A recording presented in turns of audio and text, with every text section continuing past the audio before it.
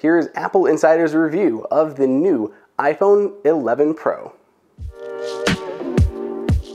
Possibly more than any other year, the iPhone 11 Pro is a very divisive handset.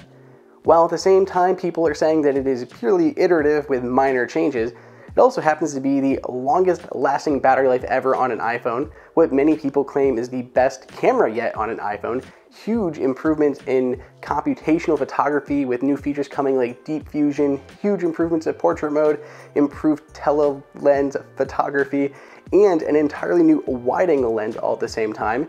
It also happens to be the most powerful iPhone yet to date, so in a lot of ways, it is a huge step forward for the iPhone, even if on the surface, it looks purely iterative. We've spent quite a bit of time with the iPhone 11 Pro, so we're gonna go through all of the new features and kind of break down how we feel about Apple's new flagship handset.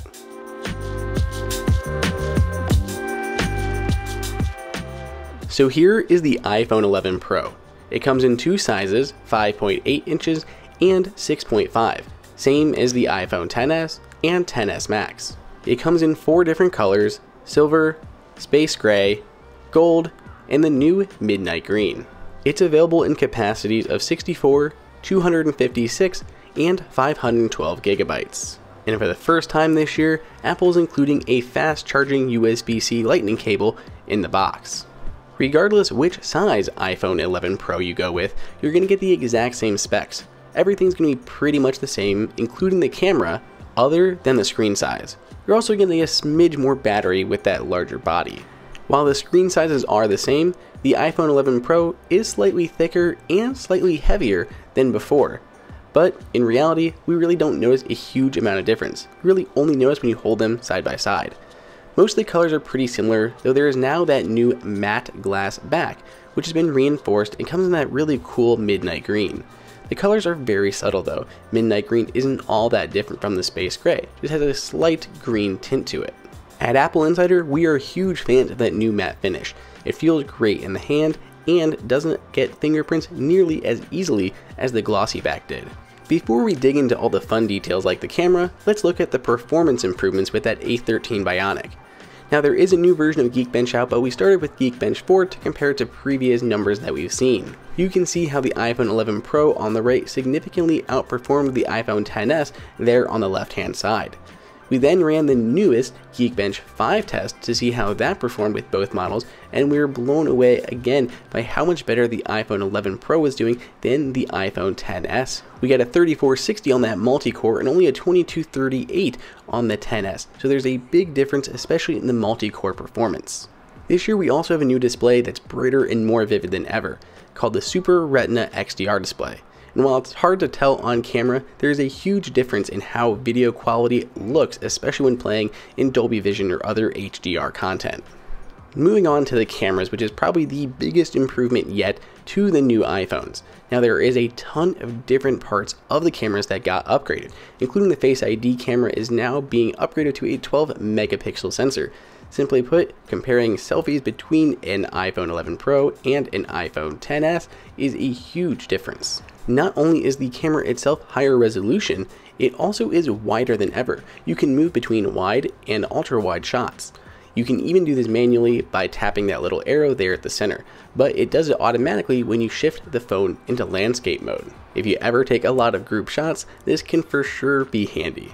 The bigger news though is clearly the ultra wide sensor added to the back of the iPhone 11 Pro. So we have the tele-lens, which has a wider, faster aperture. We have the standard wide lens, and we have the new ultra wide lens. Apple has made it extremely smooth to go between all of those, and we really love the interface. There are buttons you can jump between, or you can glide between them all. Video too has improved, with 4K now being able to be shot at 60 frames per second. One feature we really like is called capture outside the frame, and you can see that here. You can see this section in the center, which is the standard wide lens but on the edges you can see what you would capture if you switched to the ultra wide. It's a really neat way to be able to imagine your photos. Let's move on to some sample photography.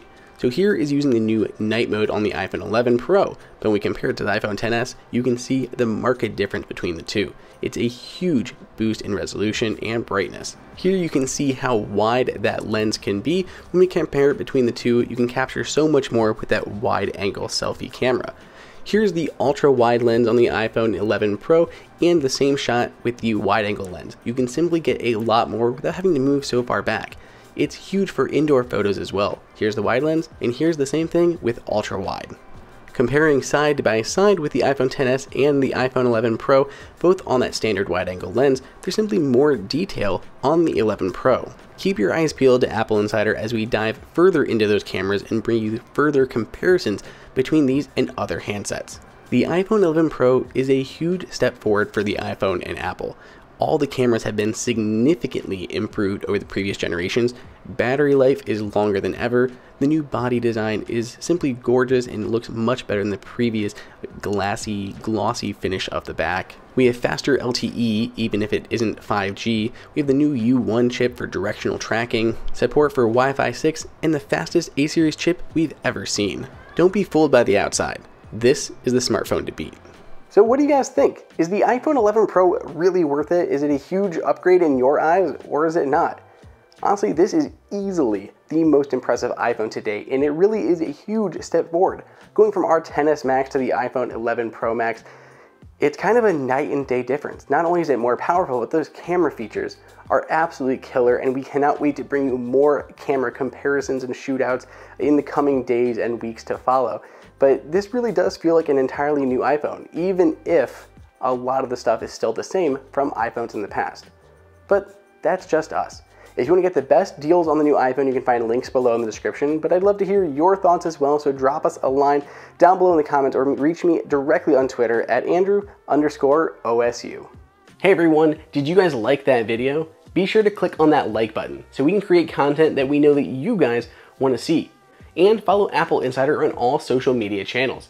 If you want the best prices on any Apple gear, check out the Apple Insider price guide that is updated daily. And until next time, we'll see you later.